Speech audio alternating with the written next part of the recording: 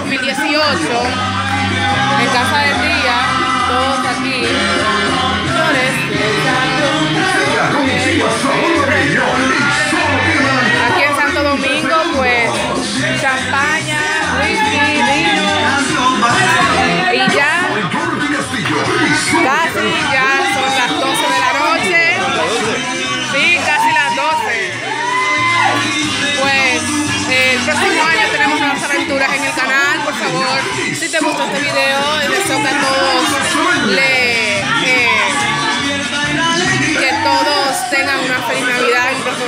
el año 2018. Habrá nuevas aventuras conmigo.